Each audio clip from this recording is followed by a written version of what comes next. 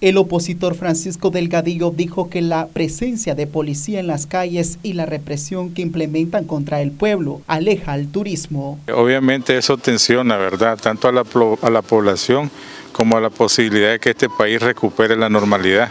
Eso lo que demuestra es que no hay nada normal y eso no le beneficia en nada al gobierno. El gobierno ya debería desaparecer todos esos antimotines, acuartelarlos, todos los paramilitares y dejar de perseguir a la gente, porque esa es locura, estar persiguiendo a la gente por un principio, por un reclamo justo sobre el aspecto constitucional que te da todos esos derechos. La gente hace reclamos justos en base a la constitución y el gobierno los agrede injustamente utilizando la fuerza.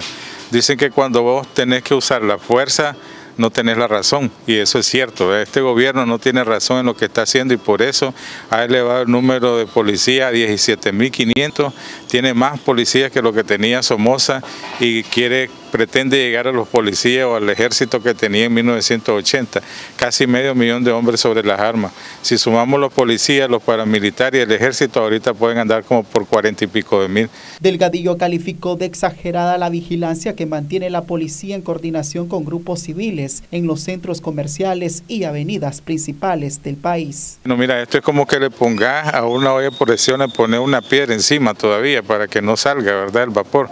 Tarde o temprano va a estallar y va a estallar un estallido social que no va a tener precedentes. El 18 de abril va a ser pequeño comparado con esto, porque en la medida en que vos reprimís a uno, seis más se suman porque la familia, aquí en Nicaragua generalmente somos de 5 a 7. Entonces, si vos te ibas preso al papá o al hijo, o al hermano, toda la familia va a respaldarlo, no le van a dar la espalda. Entonces, este gobierno lo sabe, porque en el tiempo de Somoza sucedió igual. Y no sé por qué se empeñan en mantener esta política. Mi única explicación es, ante la ilógica de lo que ellos hacen, es que la lógica de ellos es que si no lo hacen, se van del poder. Noticias 12, Armando Amaya.